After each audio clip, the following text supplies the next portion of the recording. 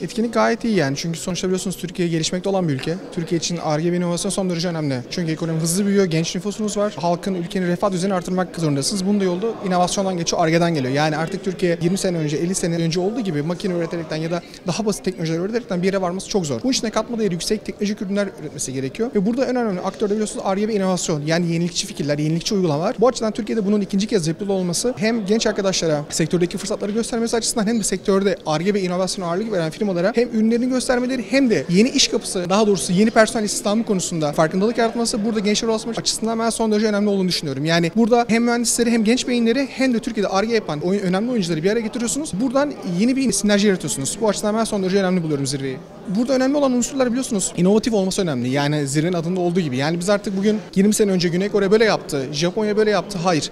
Biz 20 sene sonra Türkiye ne yaptı da bu noktaya geldi dedirecek şeyleri konuşmamız gerekiyor. Yani burada bugün drone teknolojilerinden tutun otomasyon sistemlerine, enerji depolama sistemlerinden tutun diğer gelişmekte olan biyoteknolojiler olabilir, daha üst kimyasal ürünler olabilir. Yani burada sadece teknoloji sınırlamıyorum. Yenilikçi Türkiye'yi ileriye taşıyacak sektörlerin, ileriye taşıyacak konuların, alanların burada konuşulması önemli. O açıdan da ben burada ele alınan birçok konuda işte savunmadan tutun, İHA'lara kadar, elektrik depolamadan tutun diğer konulara kadar ele alınmasını hem gençlere hem de Türkiye'de politika yapıcılara gösterme açısından önemli olduğunu düşünüyorum.